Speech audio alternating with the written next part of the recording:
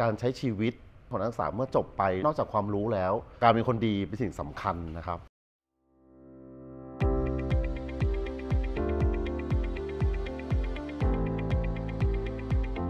อาจารย์ที่ปรึกษานะครับความหมายของผมนะครับก็คือ คนที่คอยดูแล ให้คำปรึกษา ให้คำแนะนำไม่ว่าจะเป็นการดำเนินชีวิต การเรียนหรือปัญหาต่างๆ ที่เกิดขึ้นในชีวิตของเขาเปรียบเสมือน เป็นพ่อเป็นแม่ของเขาคนที่สองดูแลเขาเหมือนลูกเราจริงๆ เข้าไปพูดคุยให้เขาละลายพฤติกรรมตัวเองออกมา แล้วสังเกตพฤติกรรมเด็กความจริงใจ ความใส่ใจนะครับที่เรามีต่อเด็กๆนะครับก็จะเป็นใบเบิกทางหรือว่าให้เขารู้สึกว่าเขาไว้ใจเราเขามาปรึกษาเราแล้ว เขามาพูดคุยกับเราแล้ว ทุกอย่างเนี่ยเราช่วยเขาได้หรือว่าถ้าเราช่วยไม่ได้จริง ๆ เราก็อาจจะหาทางออกให้เขาได้ ค่อยๆ ช่วยกันแก้ปัญหา นะครับว่าถ้าเกิดปัญหามันใหญ่มาก เราค่อยๆแก้ทีละเปาะละเปาะเพื่อให้เขาอยู่ในสังคมต่อไปได้ บางทีตัวอาจารย์ที่ปรึกษาหรือตัวอาจารย์เองนะครับก็อาจจะได้รับ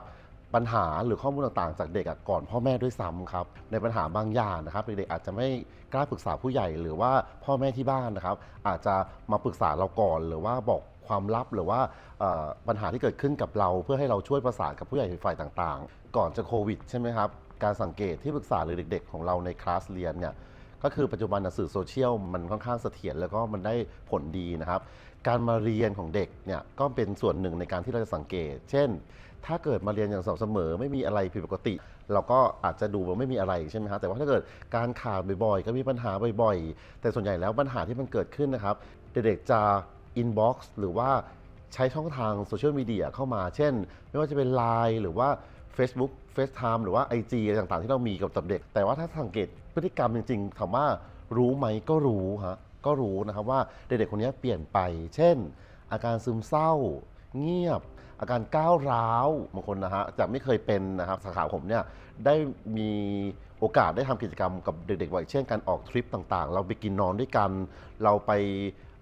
ได้ทำงานร่วมกันก็สังเกตพฤติกรรมเด็กว่าคนนี้ดีขึ้น หรือว่าแย่ลงหรือว่าเอ๊ะทำไม จากไม่เคยเป็นทำไมถึงเป็นอะไรอย่างเงี้ยนะผมก็มีการสังเกตหลาย ๆ อย่าง หรือว่าการบอกเล่าจากเพื่อน ๆ ก็อาจจะสังเกตพฤติกรรมเด็กว่าเออเป็นจริงไหมอย่างที่เพื่อน ๆ เล่ามา ผมก็จะมีวิธีง่ายๆเลยนะครับ เข้าไปพูดคุยให้เขาละลายพฤติกรรมตัวเองออกมา หรือว่าถ้าเขายังไม่เล่าเมื่อทราบปัญหาของเขาแล้วนะครับผมก็ค่อย ๆ เช่น1การทักไลน์ไปเข้าไปใน Facebook หรือว่าใช้การโทร เพื่อสอบถามไถ่ปัญหาต่างๆ ทั่วไปอะไรเงี้ยจนลักษณะของการพูดคุยของผมเนี่ยก็อาจจะแบบว่าเอา เอาใจของเราเนี่ยไปใส่เขาให้ว่าแบบพูดคุยว่าเราเป็นห่วงอะไรอย่างเงี้ยนะครับ ส่วนใหญ่ก็นักศึกษาก็จะพูดถึงปัญหาค่อยๆ คลายปลมออกมา อาจจะหมดหรือไม่หมดเนี่ยก็อยู่ที่วิธีการของพูดของเรานะครับ ว่าปัญหาที่นักศึกษามีอะใหญ่แค่ไหนหรือว่าเล็กน้อยปานใดอะไรเงี้ยครับแล้วก็ค่อยๆ ช่วยแก้ปัญหาไป ในฐานะที่เป็นครูหรืออาจารย์สอนในภาคทฤษฎีปฏิบัติในปัจจุบันนะครับ เราสอนให้ความรู้กับลูกๆและเด็กๆเราอยู่ในเนื้อหาในตำราไม่ว่าจะเป็นภาค ทฤษฎีปฏิบัตินะครับ เราก็สอนได้เฉพาะความรู้ที่เป็นอยู่ในหนังสือถูกต้องไหมฮะหรือว่าความรู้ที่เราไปจากประสบการณ์จริง ของเราที่ได้เจอเจอมาในในอาชีพของเราที่เราได้ปฏิบัติมาจากชีวิตจริงของเราแล้วเราก็ถ่ายทอดให้เด็ก แต่ผมความรู้สึกว่านอกจากความรู้จากตำราและหนังสือแล้วนะครับ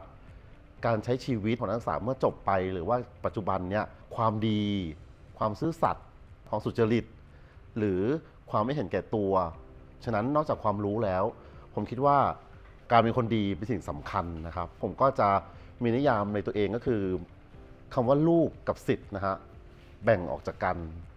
ก็คือเราดูแลเขาเหมือนลูกเราจริงๆสิทธิ์ก็คือการให้ความรู้ใช่ไหมครับก็คือลูกบวกสิทธิ์ก็ต้องผสมผสานคือเหมือนลูกของเราจริง ๆ ที่เราให้ความรู้เขาความจริงใจ ความใส่ใจนะครับที่เรามีต่อเด็กๆนะครับ ก็จะเป็นใบเบิกทางหรือว่าให้เขารู้สึกว่า เขาไว้ใจเราเขามาปรึกษาเราแล้วเขามาพูดคุยกับเราแล้ว ทุกอย่างเนี่ยเราช่วยเขาได้หรือว่าถ้าเราช่วยไม่ได้จริง ๆ เราก็อาจจะหาทางออกให้เขาได้ ค่อยๆ ช่วยกันแก้ปัญหานะครับว่าถ้าเกิดปัญหามันใหญ่มาก เราค่อยๆแก้ทีละเปาะละเปาะเพื่อให้เขาอยู่ในสังคมต่อไปได้ครับผม